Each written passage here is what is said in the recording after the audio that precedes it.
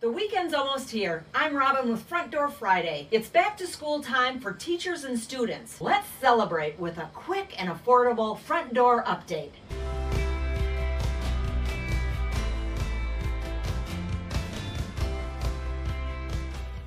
A chalkboard stand makes a fantastic prop.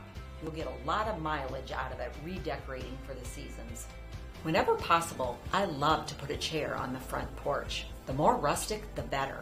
It makes a house look more welcoming and inviting. An apple wreath seems appropriate for school.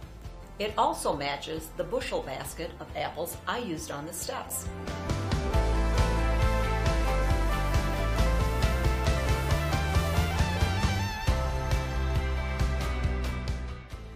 Oversized letters and numbers to match your color scheme. I'm going to use traditional primary colors. Glue letters to a wide burlap ribbon. Attach a small slate to the ribbon. Use a command hook to hang. Scatter large numbers around the porch for a pop of color. You can find very affordable mats online and in stores. It's a finishing touch that makes a big difference. It looks great, but I feel there's something missing. Well, Lauren, what do you think? Does the door measure up? I give it an A plus. Thanks. That's it for this week's Front Door Friday.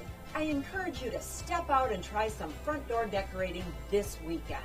To learn more, check out the Country Door blog, and I'll see you next Friday. Happy decorating and God bless.